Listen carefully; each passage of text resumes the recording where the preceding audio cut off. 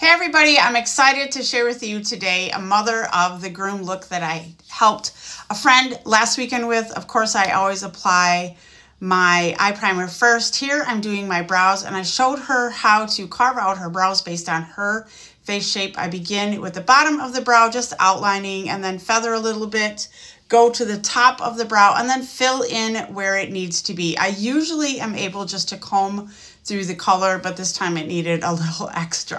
Now I'm going to show you this beautiful color called Deliberate. We put this all over her eye just as a pop of color and to help everything blend smoothly. Then we took this new color called Enthusiastic as the transition color. I went ahead and started really lightly and then built that color up to what I wanted it. This is the star of the show. This is called Precipicus and we just put that on the outer corner and built it up as we wanted it. She wanted just a little bit less color. I like a lot of color and as you can see, I pulled it up toward the eyebrow. That's going to give a lifted effect for us mature eye ladies. And then I came back in and I added just a little bit more of that deliberate where I had put too much of the precipicus. So it's really easy to blend through. And then of course my eyelash primer, it really helps um, separate those lashes and get them ready for the mascara, just like a hair conditioner does. Um, and then, of course, my Twisted Mascara. I love this because it has two wands, so you can customize the look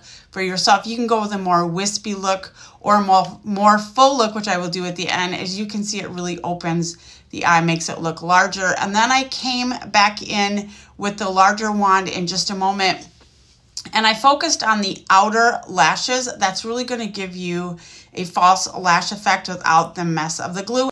And then she picked this beautiful color called Purple Vein for her lips. Let me know if you'd like this combination.